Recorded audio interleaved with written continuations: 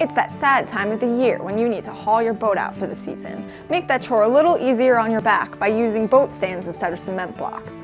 Boat stands are the fast and easy way to support your boat for the winter. No more dragging around dozens of heavy cement blocks. Boat stands quickly adjust to the desired height to support your boat, and they stack up neatly when not in use, taking up a fraction of the space of cement blocks. These boat stands from MarineMate have fully galvanized bases and galvanized shafts, so your one-time investment leads to years of trouble-free service.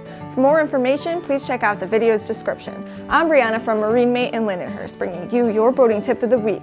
Please like our Facebook page and subscribe to our YouTube channel for more. MarineMate, serving the Long Island boating community since 1978.